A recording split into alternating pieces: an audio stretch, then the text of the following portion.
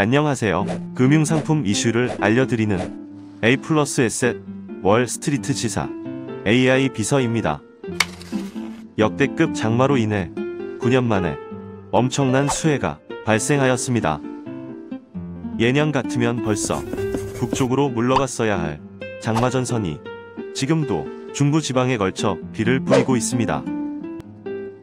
이번에 수해 피해를 입으신 분들에게 진심으로 위로 말씀드립니다.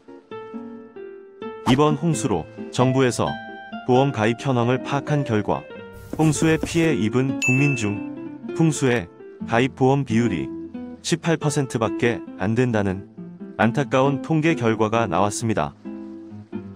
언제 찾아올지 모르는 자연재해, 이런 수해에 대비한 주택화재 보장 자산 플랜을 안내드립니다. 첫 번째, 16층 미만 아파트 및 비특수 건물은 한화 손해 세이프 투게더가 업계 내에서 가장 좋습니다. 상품의 보장 내용과 가입 금액은 보시는 바와 같습니다. 보험료는 급배수 시설, 누출 손해 포함 시 최저 3만원부터 가입이 가능하며 급배수 시설, 누출 손해 제외 시 최저 보장 보험료 1만원부터 가입 가능합니다. 강조되는 메리트는 풍수재 손해 시 최대 1억 원까지 보장이 가능하며 주택 임시 거주비도 10만 원까지 보장됩니다. 두 번째, 주택 메리츠 화재 올인원 라이프 상품입니다. 상품의 보장 내용과 가입 금액은 보시는 바와 같습니다.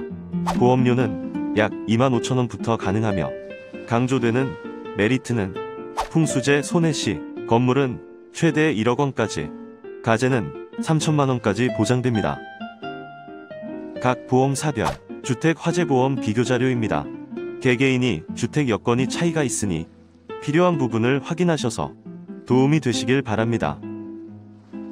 전체적으로 비교해 보았을 때 하나 손해보험과 삼성화재, 메리츠 화재를 추천드립니다. 이상으로 수해 대비 주택화재, 보장자산 상품 추천 브리핑을 마치겠습니다.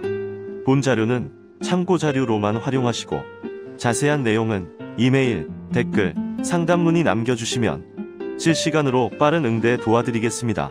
지금까지 A 플러스 에셋 월 스트리트 지사 AI 비서였습니다.